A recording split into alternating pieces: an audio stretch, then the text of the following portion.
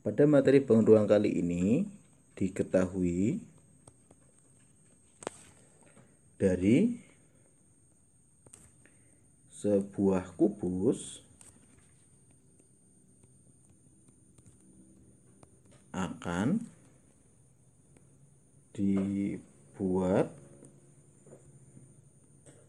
model limas yang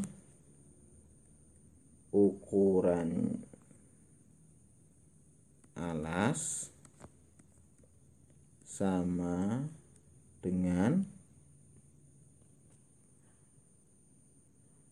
alas kubus. Jika titik pusat limas, jika titik pusat limas merupakan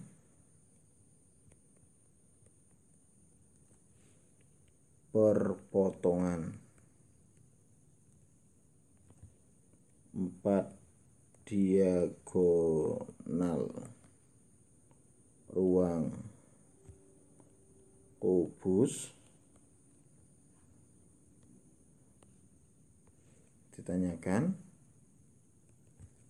ada berapa limas yang terbentuk.